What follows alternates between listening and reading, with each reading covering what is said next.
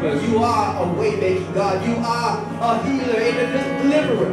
If you just look to your hands, oh God, we praise you, oh God, because we know that you are working. Oh God, day after day, Lord, morning after morning, Lord, yes, brand new mercies we see. Hallelujah. Lord, you are the awesome and holy God that can do all things but fail. We just ask you, Lord, to continue to move by your spirit, Lord. Sit in our, get in our presence, oh God, Lord. Get in the midst of us, oh God, and move, Lord.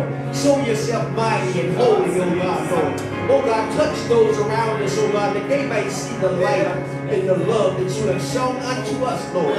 Oh God, we praise you, oh God, Lord, because you are a God that can make a way out of no way, oh God, Lord. Strengthen your people, oh God. Sanctify the hearts, oh God. We pray, encourage someone, oh God, and call for your word to go forth, Lord. Even so in these last few days that you, oh God, show, show up and show out, Lord. Lord, we pray, Lord, that you would, oh God, sit in our midst, go up and down the pews, oh God, even go by airway and by way, Lord. Encourage people, oh God. Touch me from into the house, oh God. Touch, oh God, Lord, the doors that need to be open, Lord. They closed doors that need to be closed. Just pray, Lord, that you would, oh God, Lord, rapture, Lord, your people, oh God. Cause your spirit, Lord, to cares about us, oh God. We feel Lord, oh that you have backed by the forces of darkness. We know, Lord, that you are able to do exceeding abundantly above all the nations. Cover your people, Lord, with your presence, oh God. We ask you, Lord, to bless the man of God. As he put forth the word, oh God. Spirit to me, keep him, oh God. Give us a word, oh God, Lord. Use us for your glory. And we're to give your name the glory and the praise. And we ask all these things in Jesus' name. Amen. Amen.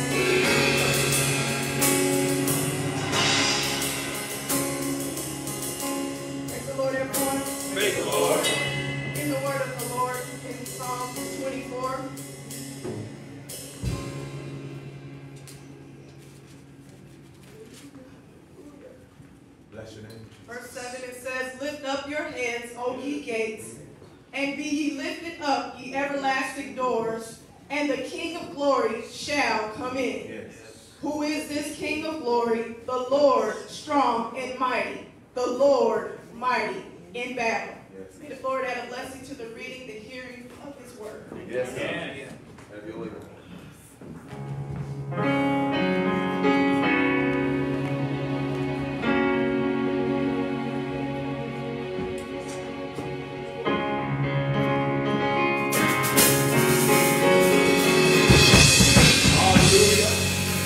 Praise the Lord, everybody that's put their hands together. Give God a great big praise. Hallelujah.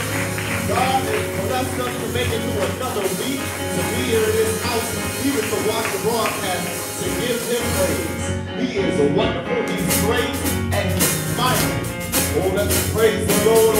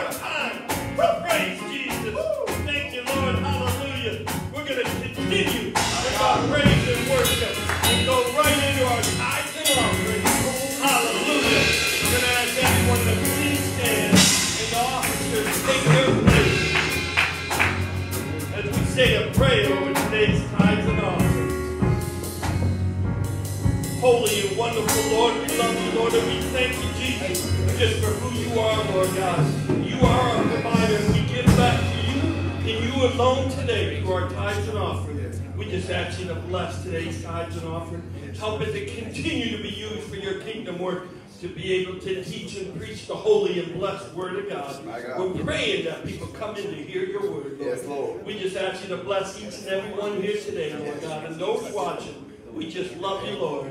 We ask everything in your holy name. In Jesus' name we pray. Amen. You are in the hands of the usher. My God. Thank you, Jesus.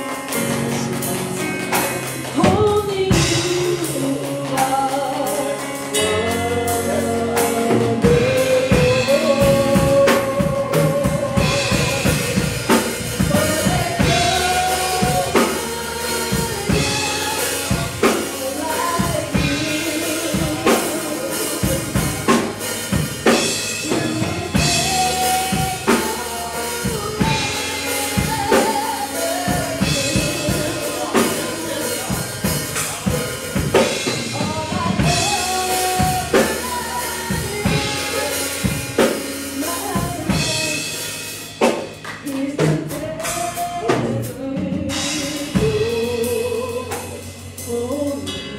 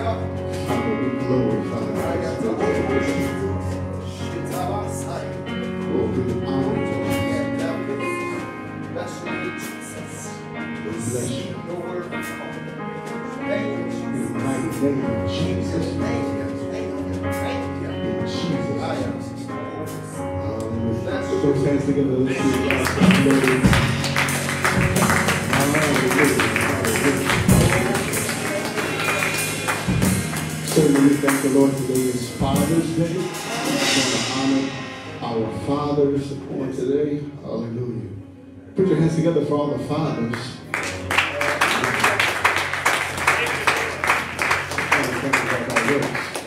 On Mother's Day, we can just hint that it's Mother's Day for us and just shouting and just clapping. And you say it's Father's Day. Hmm. We ought to honor our fathers, honor where it is due. And there are fathers who are fathers naturally, and there are fathers who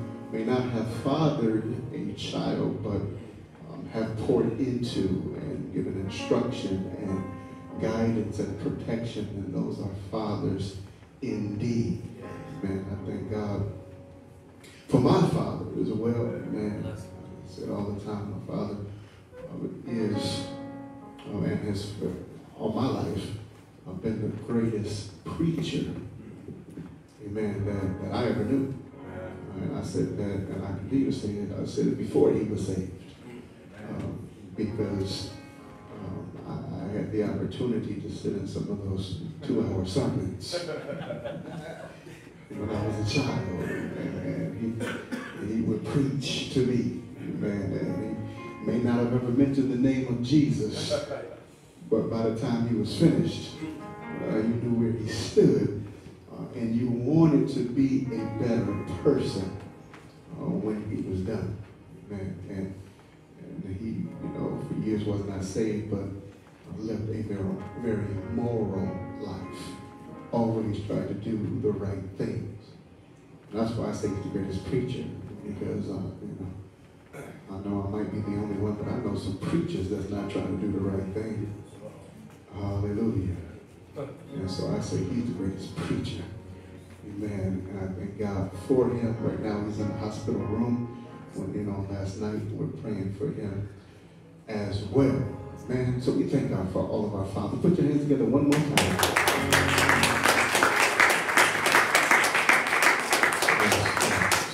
Grab your Bibles. Grab your Bibles. Turn with me to the Old Testament book of Ruth.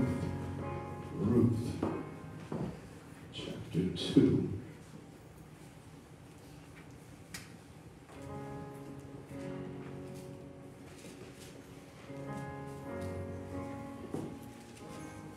Hallelujah. Somebody say Ruth. It sounds more like a Mother's Day message than a Father's Day. Hallelujah.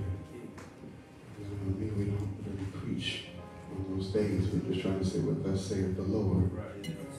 Hallelujah. We believe that Ruth is the place on this morning. Ruth chapter 2. I'm going to read verses 5 through 16. Ruth chapter 2, verses 5 through 16. When you have it, please let me know by saying amen. Amen. Ruth chapter 2, verse 5, and it reads, Then said Boaz unto his servant that was set over the reapers, Whose damsel is this?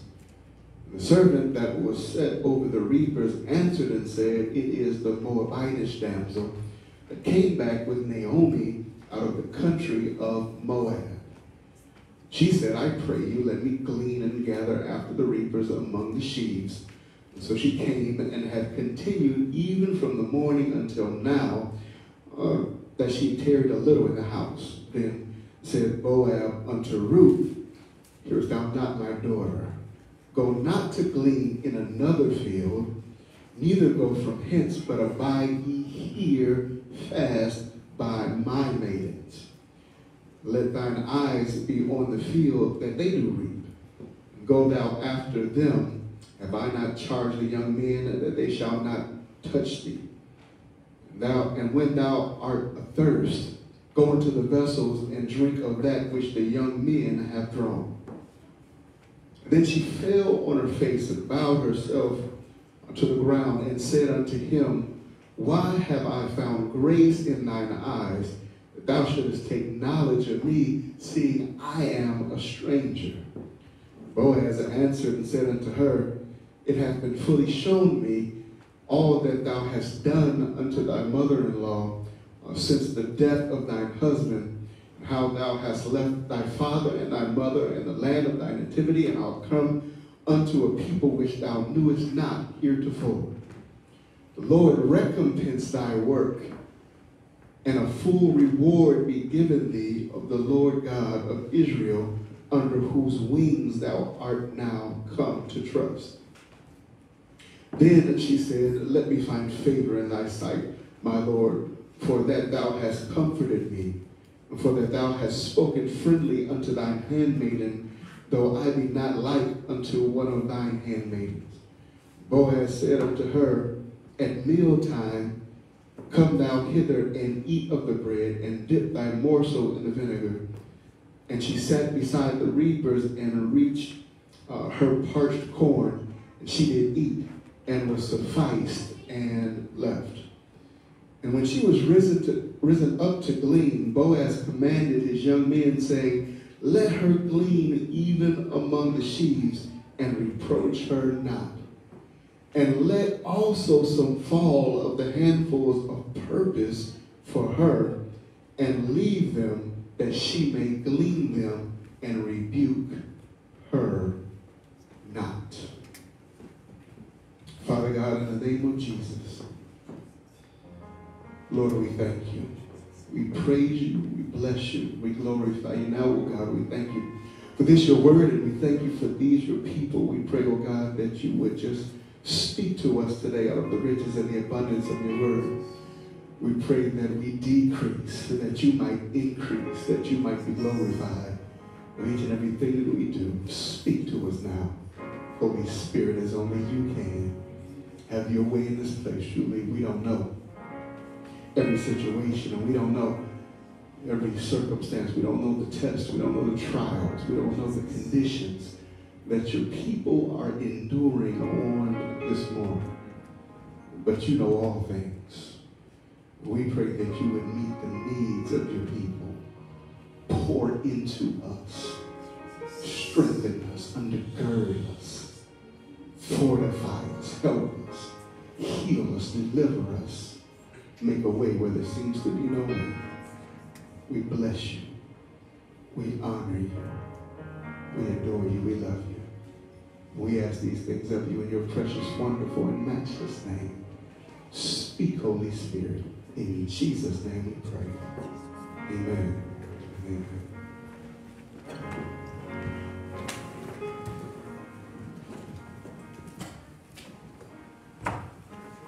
Still in the receive and recover series. This week's message is number 21 in the series. This week we're going to deal with the subject receive love.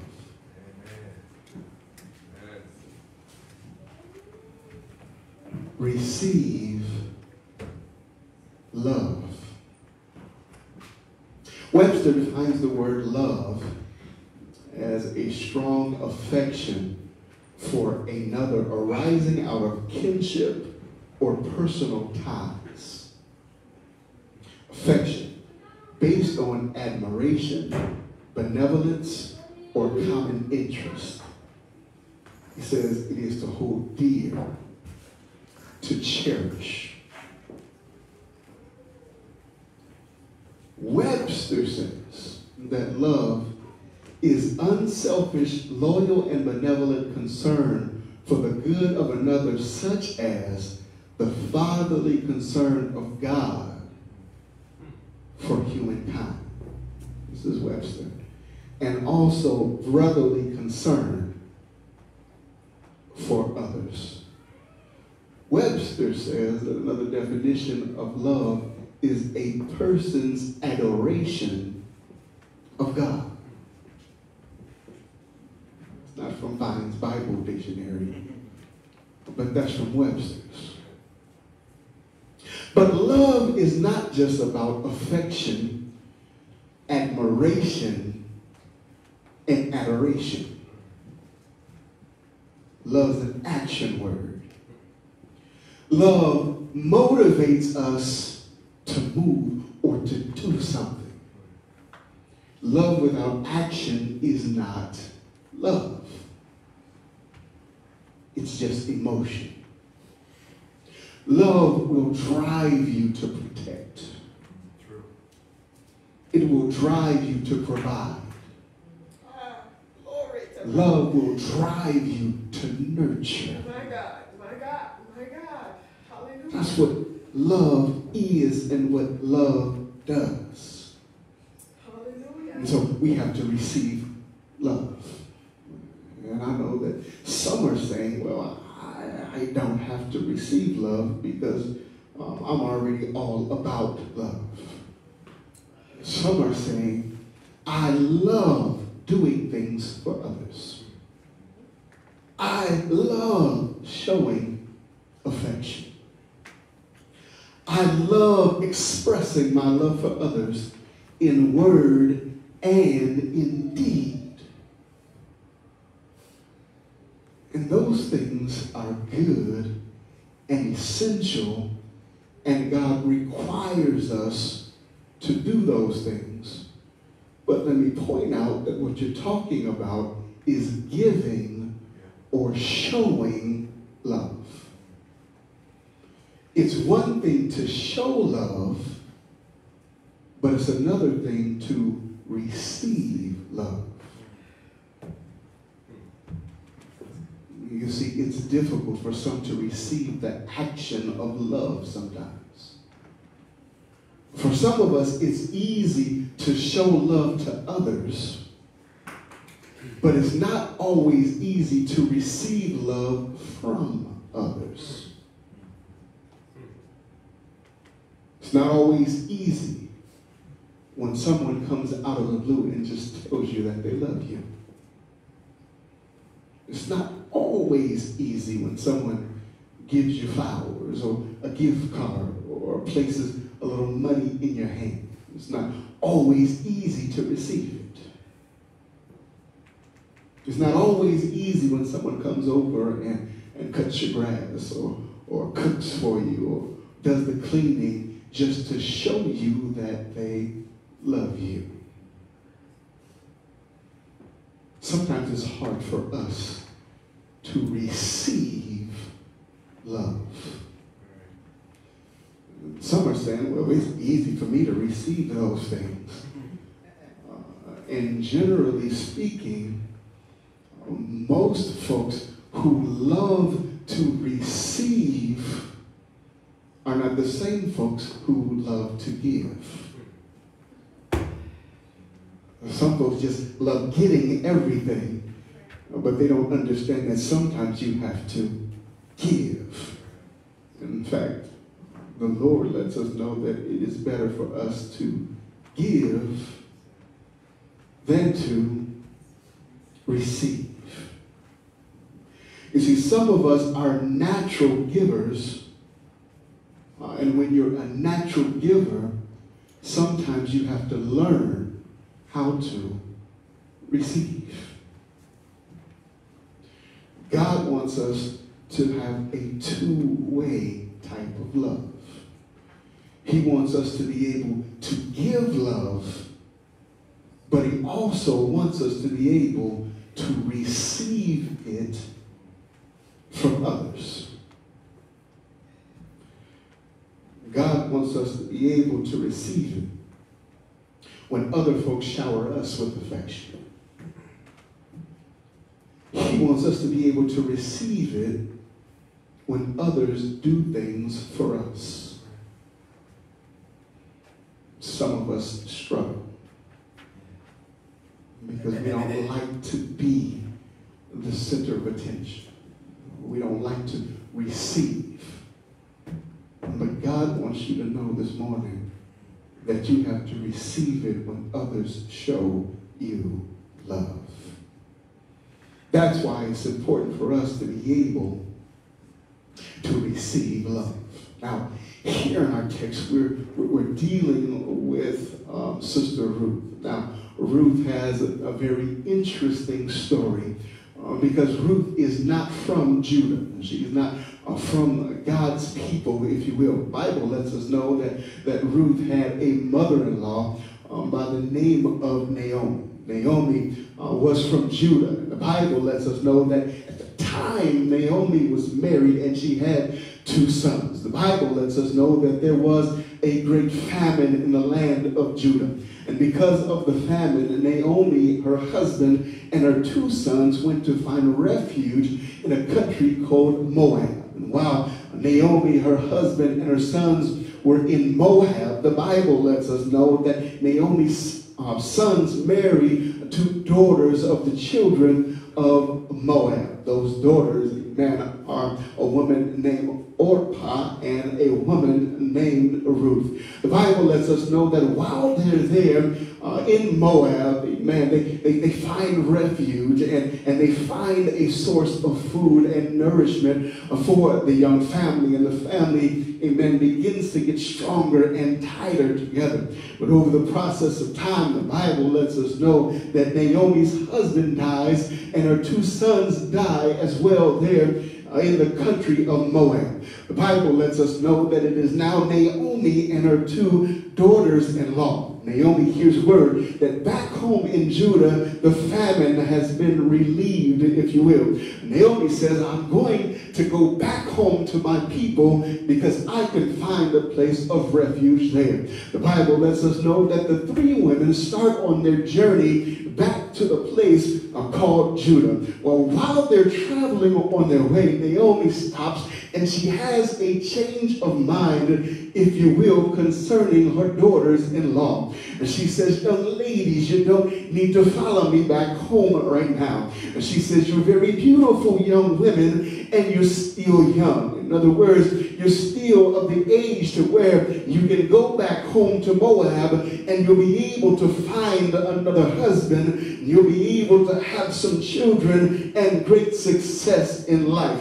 Amen. She tells her daughters-in-law that you need to go back to Moab so that you can prosper. The Bible lets us know that both women initially fight against, amen, the wishes of Naomi. They both said, we're not going to leave you, but we're going to stay here with you. The Bible lets us know that Naomi is able to convince one of her young daughters-in-law, amen, to go back home and return to her people. But the Bible says that it is Ruth who stands firm in her belief that she cannot leave Naomi alone. Understand that at that time when a person was a widow woman, and specifically if you're a widow woman of age, amen, it almost automatically dooms you to a life of poverty because there's no male figure there who can provide for you. And so now what Ruth is saying is that I'm going to stay with you so that I can help you through these tough times. The Bible says that Ruth speaks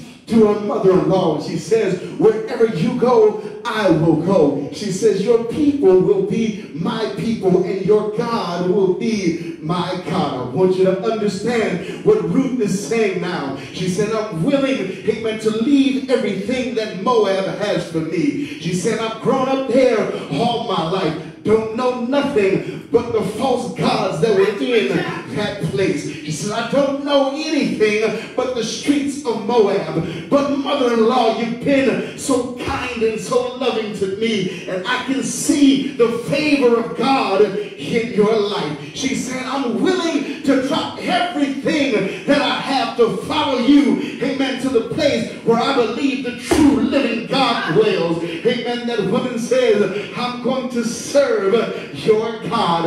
I'm going to go into your country, if you will. Understand that this woman, Ruth, amen, was completely and totally devoted to taking care of her mother-in-law. Bible lets us know that when they get into Judah, amen, she starts working instantly. Amen. She could have left Naomi in a place to where she was poor, alone, and destitute. But instead she says, I'm going to work my fingers to the bone because I want to show you some love. The Bible lets us know that one day, amen, Ruth goes into the field of a man by the name of Boaz. The Bible says that Boaz was a very wealthy man. He had some substance. He had, amen, some security. Amen, he had some fame and his name was known throughout the land. The Bible lets us know that this young girl Ruth goes into the field of Moab. The Bible says that she begins to glean, which means, amen, after the harvesters have collected all the corn and all the wheat and the barley, whatever is left over on the ground, if you will, picture it in your mind. You have Ruth there picking up the pieces that are left over from the laborers in the field. They said if you can pick up the pieces, whatever's left over, you can have. The Bible lets us know that then Boaz steps onto the scene and he looks over, amen, at Ruth and he says, whose damsel is this? In other words, who is this young woman over here and who does she belong to? And they tell him her story. Well, that's just a Moabite woman. Amen. She's the woman that came over with your relative Naomi out of Moab. She's here taking care of your family. She's here working her fingers to the bone. She's been here all day long collecting of what's left over so she can provide some food for her mother-in-law to eat. The Bible says that Boaz now steps to Ruth and he says, listen to me, young lady, just for a second. He says, I want you to stay here in my field and my field only. He said, I don't want you to go into another man's field. He said, I want you to hook up with my maidens and wherever they go, I want you to follow them. And those men that are in the field, once I send the word, they won't touch you at all. In other words, this man is saying, amen, if you're in my field, I'm going to protect you. I'm going to keep you. Doesn't sound anything like God. When you're laboring in the vineyard of God, God will protect you and God will keep you. The Bible says, and Boaz speaks, amen, to that young girl Ruth, and he lets her know, amen, that nobody will bother her. And if she gets thirsty, he says, go over, amen, to the water that the men have, and you can drink from that water. The Bible says that Ruth falls on her face and she says to Boaz, Why have I found grace in thine eyes? Oh God, doesn't this sound a little bit like us? When God has given us favor, shouldn't we just fall on our face and say, God, I'm not worthy, and God, I'm not worthy of the honor that you're bestowing upon me. Amen. Ruth says to Boaz, How do you even know who I am? I'm just a stranger in this land. And Boaz lets her know that he's heard about what she's doing for Naomi. He said, I heard that you left your country and I heard that you left your people to show love unto my relative. I've heard that you've given up everything so that you can show Naomi nothing but love. Understand that Boaz then turns to this woman. He says, at mealtime, make sure that you get plenty of food. And the Bible says that she ate to the full. And when she gets ready to go back into the field to start gleaning again, check out what Boaz does. He calls the fellas over. He said, don't touch her. Leave her alone. In fact, while you're collecting barley for me, he says, drop some extra pieces on the ground so that she can get them and don't touch her, but leave her alone. I want you to see that every now and then God will have folks to drop some extra pieces on the ground so that you can pick them up. Understand that when you have the favor of God, God will bless you in ways that you can't even comprehend or understand. The Bible lets us know that at the end of that day, her basket was so full of barley that when she gets back to Naomi, Naomi said, girl, where'd you get all of that food? And when she tells her the story of Boaz, Naomi looks at her and says, baby, you've been such a blessing to me. Now it's time for me to be a blessing unto you. Amen. The next time that you come to Boaz's field, let me give you, amen, a little piece of advice. She says the next time that you go, make sure that you take a real good bath and that you wash up real good and put on your finest perfume, if you will, and do exactly what I tell you to do.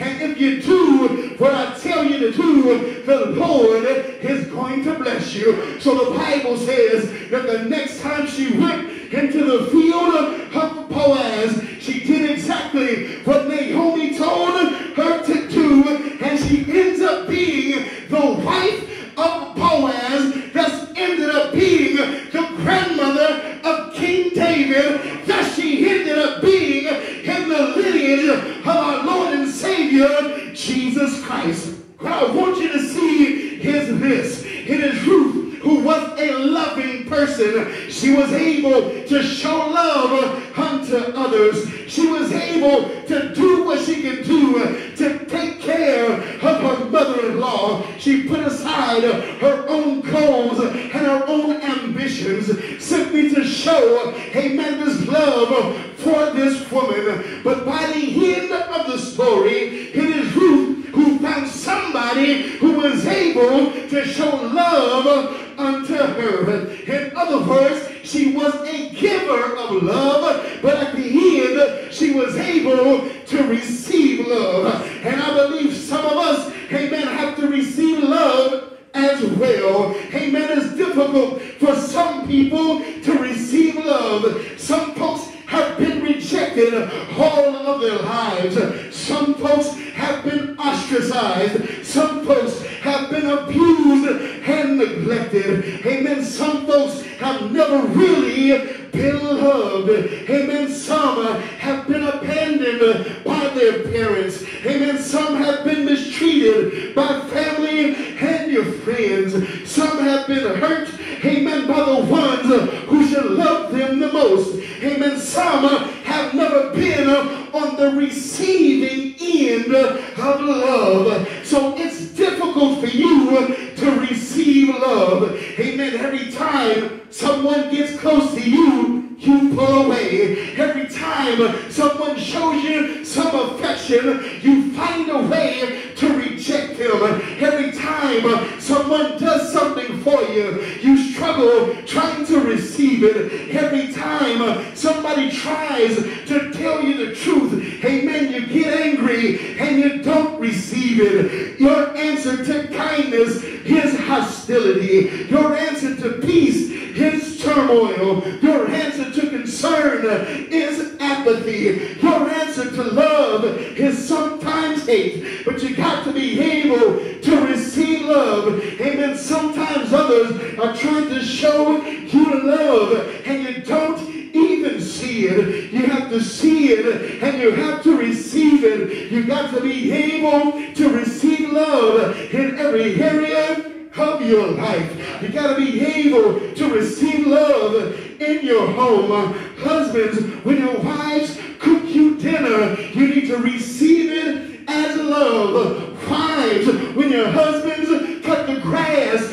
you got to be able to receive it as love. Amen. Parents, when your children come to you seeking out your advice, you got to be able to receive it as love. And children, when your parents correct you, you got to be able to receive it as love. You got to be able to receive love in your home. You should be able to receive love with your family and your friends when they tell you that that outfit ain't working for you. They're not trying to make fun of you. They're simply trying to show you some love when they tell you that that man or that woman is no good for you. They're not trying to point the finger. They're just trying to show you some love when they try to provide the instruction and the guidance that you need. They're trying to show you some love. You got to be able to receive love with your family and your friends.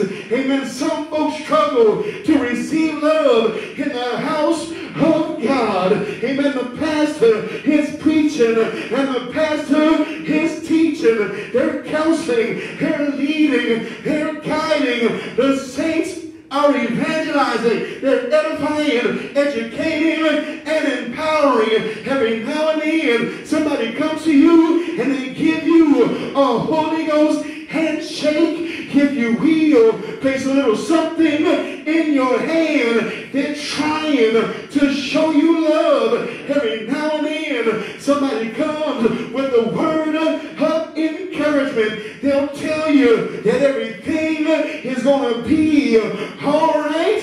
Amen. Don't walk away from them. They're trying to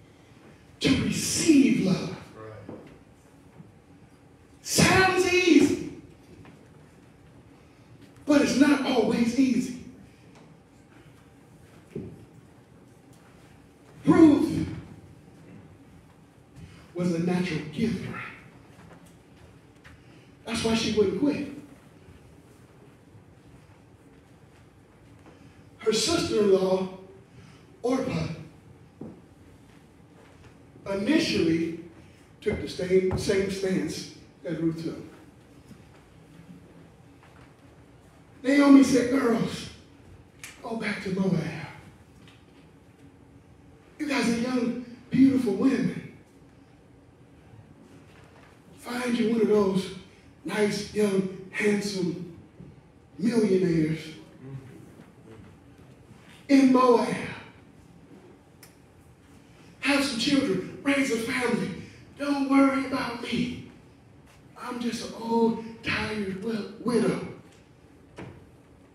Don't have many years left.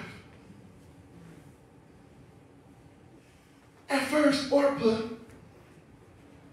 said the same thing that Ruth said. I ain't going nowhere. I'm not going to abandon you. Understand that that woman was a good woman too. But when pressed, she turned around and went back because that was her nature. She said, you know what, Naomi's right. I'm young, kind of beautiful. I may have an opportunity to have some success. And she went home. Ruth couldn't go back because that's not how she was built. Understand this, y'all. Because Naomi was not Ruth's mom.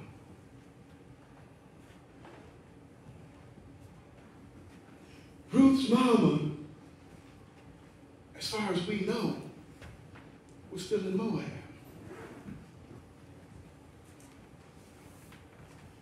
I don't know if y'all catching this. But Ruth was able to love beyond what she was expected to do.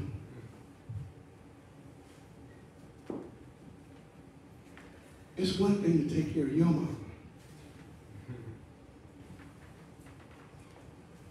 It's another thing to take care of your mother-in-law.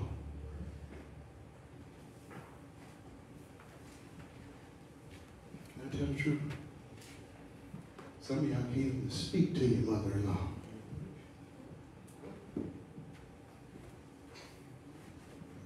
Some of y'all can't stand. Some of y'all got monsters in law.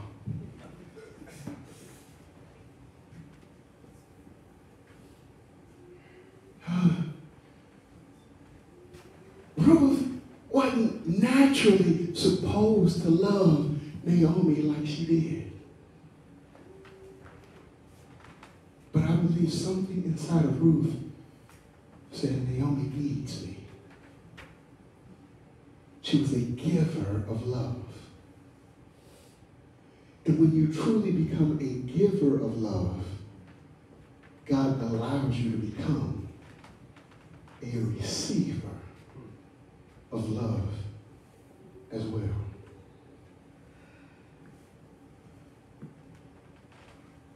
Naomi was from Judah, which means Naomi was always one of God's children. Catch this. Ruth was from Moab, not God's child, but she was one who was willing to take care and show love to God's child.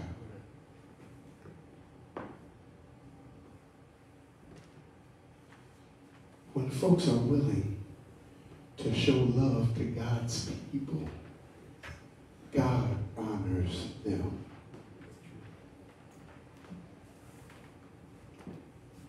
I want y'all to catch this. Because we always talk about and really, the focal point of the message is about Ruth.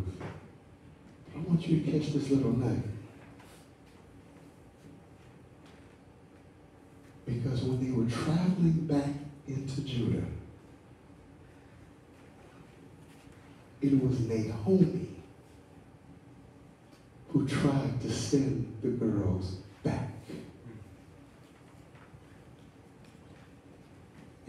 saying? The girls were trying to show her love. But initially, Naomi was the one who rejected their love.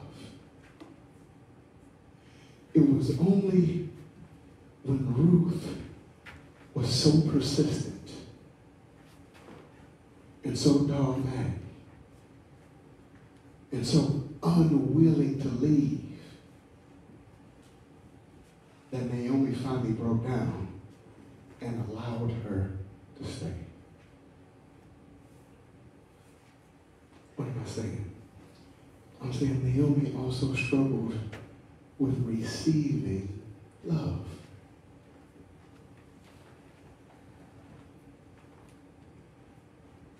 Sometimes we're just like Naomi. And sometimes we're just like Ruth. We want to give love, and it's a wonderful thing. But we have to be able to also receive. And I'm telling you because I know. Be honest with you, it's something that I struggle with. I don't mind serving God, serving God's people, doing whatever I can. But sometimes it's difficult for me. When folks try to do for me, I'll be honest. I'm good. I got it. Don't worry about it. Trying to do 50 million things. Remember, um, several years back, you know, we had these church anniversaries every year. And we don't have pastors' appreciation services. Why? Because it's not me. It's hard for me to receive. And a few years back, Sister Howard and Deacon Ron Coley came to me and said, Pastor, you know, it's, I don't know what year it was, but it was a certain year. We want to do something for you. And I'm like, no, I'm not good, you know. And, and, and they pretty much beat me down. and finally I said, okay, you know. And then the next year they came to, well, they tricked me, y'all. Like the serpent, they beguiled. They said, well, you, look, you allowed it last year. So what? Okay. And then the year after that, I got wise. We're going to honor Mother Freeman. And then the next year, we're going to honor the musicians. Why? Because it's hard for us. This year, a brother came, wanting to uh, bless me financially. And I struggled with it. Oh, you know, I don't, you know. And then he finally just kept on me. Like Ruth kept on getting on me. And I would say, what am I saying? We all struggle. But we have to be willing. You see, it's like this. When you don't receive love, you're preventing somebody else from showing love. Did y'all catch that? So even though it's hard for us sometimes to receive it, yeah, see, Sister Howard's writing that down. I know she's going to use those words against me next year. Pastor, it on Father's Day, 2021. We have to be able to allow folks to show love to us. And I can tell you, there's many in the congregation right now, you sitting there, And some of y'all don't know, and some of you do. Some of you know you struggle. And I can call you by name, but I'm not going to do it. When you first heard this message, you thought it was really a message about showing love. But the message is really about allowing others to show you love.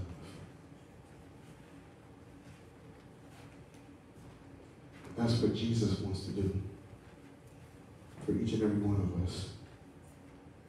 He wants to show us love. And understand this that oftentimes Jesus shows you his love through others. You follow what I'm saying? Sometimes these folks are trying to show you love, and it's because God is motivating them to do it. He's calling them, He's dragging them, He's pushing them, He's motivating them to do what they're doing. And if you reject them, you're preventing them from being obedient to God. I know you don't like it, and I know sometimes it don't feel right. But you have to allow yourself to be loved. Some of you are such good, kind, and loving people that it's easy for you to show love to others. And you almost feel guilty when somebody tries to show you love back.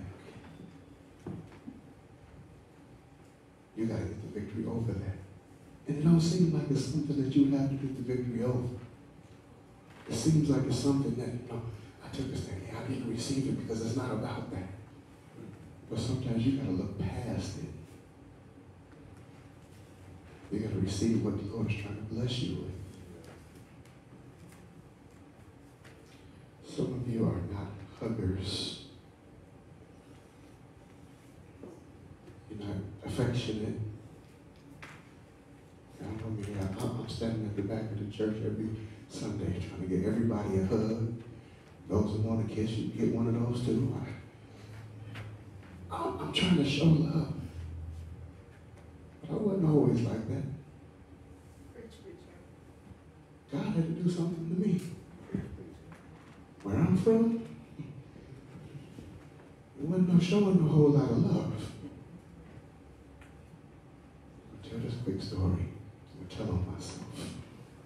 When I was in the straight out of Chicago, to boot camp and all that, and I went to Memphis. I flew into Memphis, Tennessee, southern um, city, and I had my uniform on, and I remember being at the airport and people were greeting me. Hello, how are you? Hey, how's it going? And I got Chicago mentality and Marine Corps. I'm like, what in the world?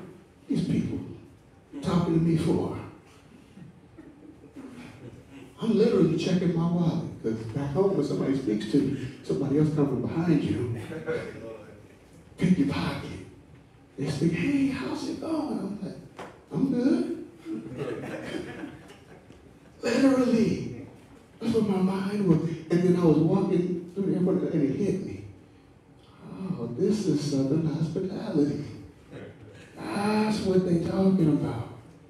What am I saying? It was hard for me to just receive greetings for folks because of where I was from, what I had endured.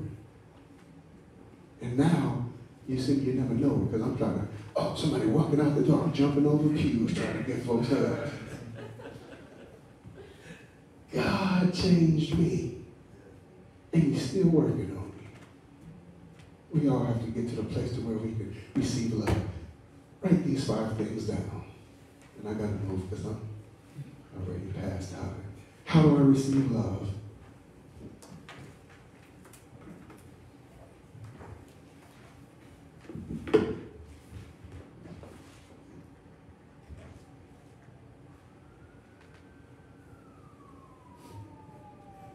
Number one, How do I receive love? Number one, accept salvation.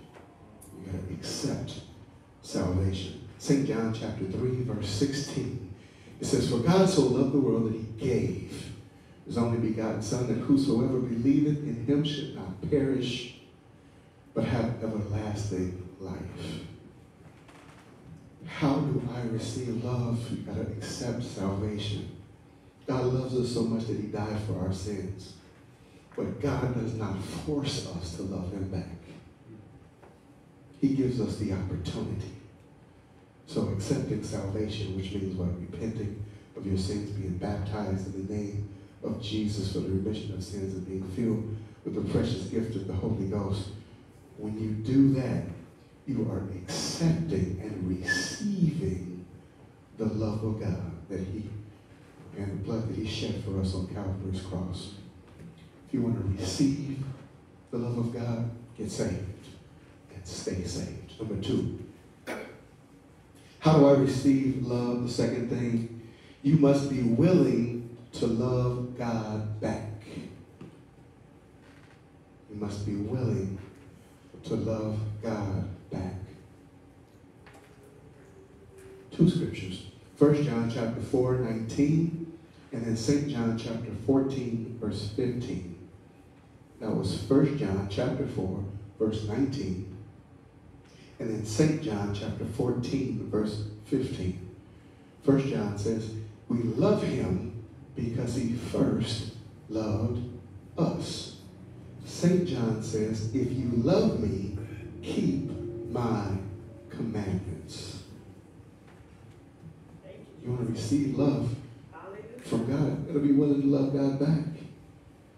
It's not enough to know that God loves us. We got to be able to love him. Shouldn't be a one-sided type of love. Only God towards us, but not us towards God. Remember that love is an action word. It's not just about a feeling. Love motivates you to move. And so if you love God, you will keep his commandments.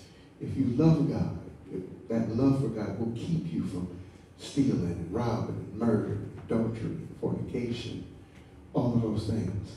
If you love God, the love of God will motivate you to praise, to worship, to tithe, to fast, to read. The love that you have for God will motivate you to do something. God loves you. It's time for you to love him back. And receive the love that he has for you. And you'll show that by keeping his commandments. Number three. How do I receive love?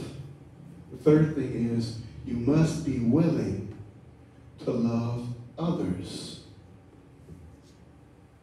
How do I receive love? You must be willing to love others. Two scriptures, 1 John chapter 4, verses 20 and 21, and then St. John chapter 15, verse 12. 1 John chapter 4, verses 20 through 21, St. John chapter 15, verse 12. First John says, If a man say, I love God and hated his brother, he is a liar. For he that loveth not his brother whom he hath seen, how can he love God whom he hath not seen? This commandment have we from him, that he who loveth God love his brother also. St. John says, This is my commandment, that ye love one another as I have loved you. So if you want to receive love, you must be willing to love others. God commands us to love each other.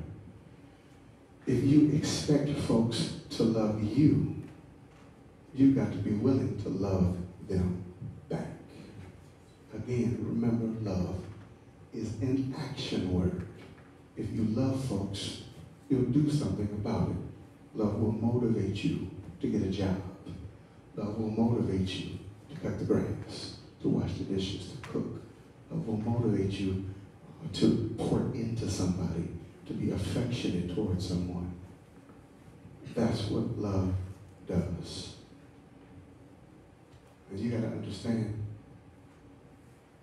that it's a one thing to give love, but it's another thing to receive it when others love you back. Receive their love means that when they pour into you, you got to receive it. When they teach you, you have to receive it. When they show you acts of kindness and love, you have to receive it. If you truly love others, it will be shown through your actions and your ability to receive their acts of love towards you. Number four. How do I receive love? The fourth thing.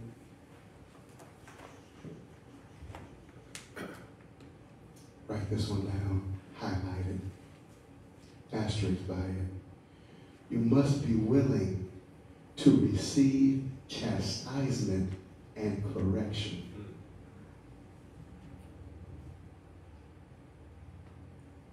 How do I receive love? You must be willing to receive chastisement and correction. Hebrews chapter 12, verses 5 through 7. And ye have forgotten the exhortation which speaketh unto you as unto children. My son, despise not the, chast- the chastening of the Lord, nor faint when thou art rebuked of him. For whom the Lord loveth, he chasteneth, and scourgeth every son whom he receiveth. If ye endure chastening, God dealeth with you as with sons. For what son is he whom the Father chasteneth not?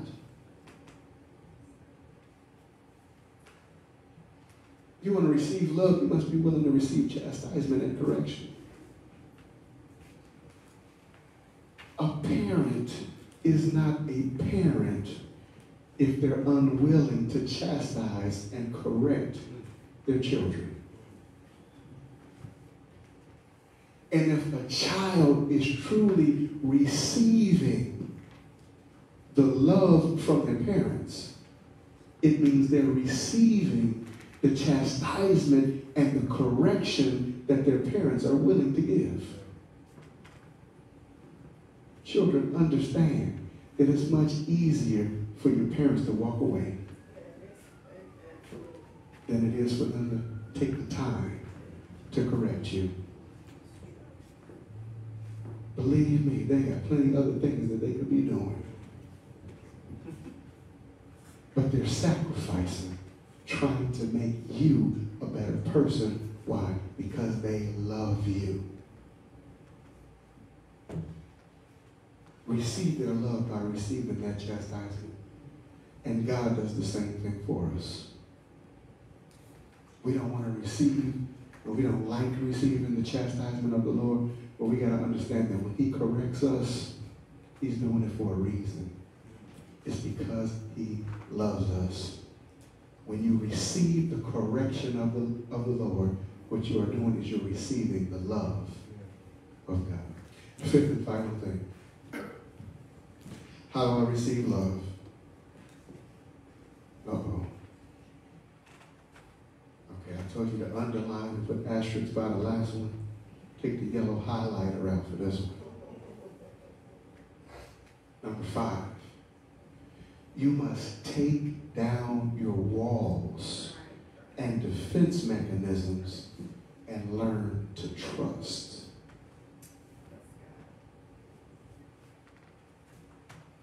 Highlight it. Put gold stars next to it.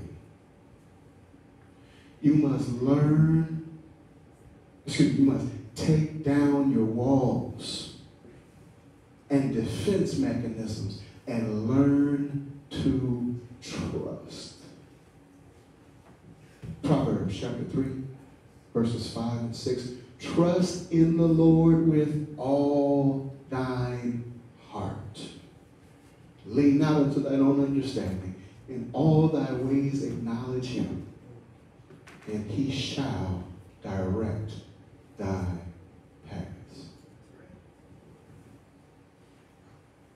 In order to receive love, you got to take down your walls and your defense mechanisms. You see, love puts you in a vulnerable position. It's hard to love because you have to trust somebody. It puts you in a vulnerable position because you're placing your heart in somebody else's hands. We've been hurt so many times in our past that it's hard for us to trust folks in our future. Some folks don't trust God because mother or father let them down. They've been in relationships and they've been hurt. So they build up walls to protect themselves. The next person, the next man, the next woman that tries to come in, they can't even get close to them because I've been hurt in the past and I refuse to be hurt in the future.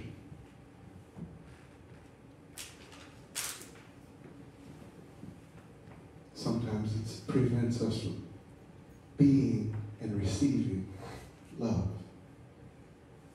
So we reject God and we reject others who try to show us love. We use tools like apathy. I don't care. We use, use tools like anger, indifference, lack of interest, because we don't want to trust.